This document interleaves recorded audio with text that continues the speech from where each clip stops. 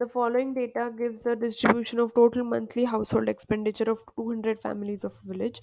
Find the modal monthly expenditure of the families, also find the mean.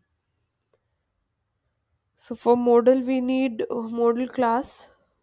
The maximum frequency or we can see is 40 which belongs to 1500 to 2000. So F will be 40. Cumulative frequency table is here. So we need we don't need cumulative frequency, sorry, it is mode.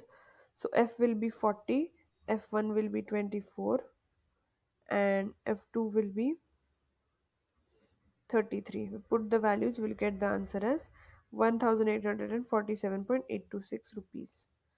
For mean, we do it by step deviation method. We will get the answer as 2662.5.